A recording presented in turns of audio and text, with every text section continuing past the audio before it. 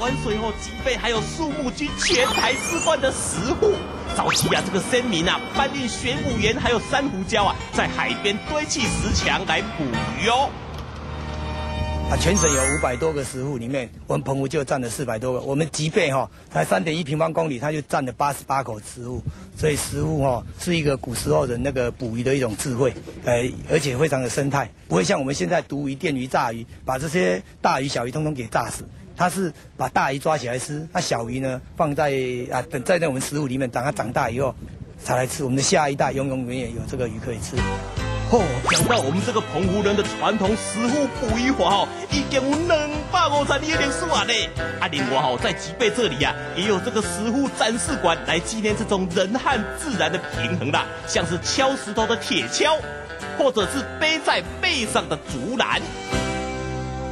我们吉北的食物是一心一意，然后精美的食物呢是我们吉北人帮他们建盖的，所以呢他们是双星。双薪的话，现在年轻人都比较爱流行劈腿，所以嗯，应该是来击背的话应该比较好，因为击背的人比较一心一意。